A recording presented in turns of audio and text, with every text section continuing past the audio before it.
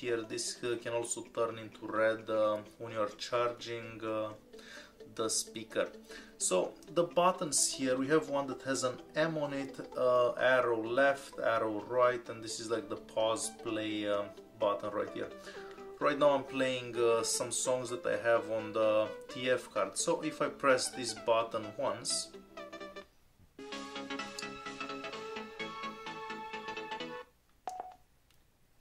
it will uh, change the song.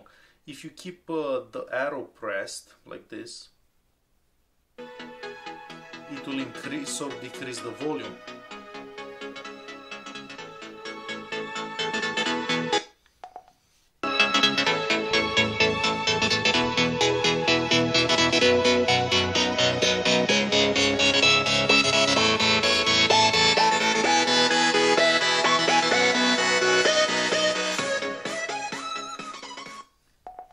So basically if I want to change the song I keep going uh, to the right or to the left.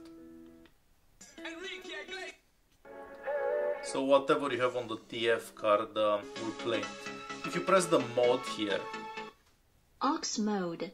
auxiliary mode, however uh, we don't have a place to insert any headphones or uh, stuff like that, so this uh, doesn't exactly apply. And if I press one more time, FM mode. It will go into FM mode. However, uh, I will not be able to find any channel. I've already tried, but I cannot find anything. Bluetooth mode. And now it will connect to my phone. So I'm just gonna leave this Pairing. here, and I'll connect this. Uh, so it's already connected.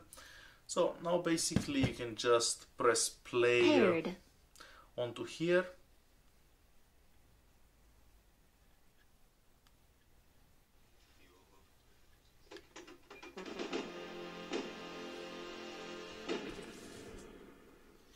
So whatever song I change from the speaker, it will change on my phone.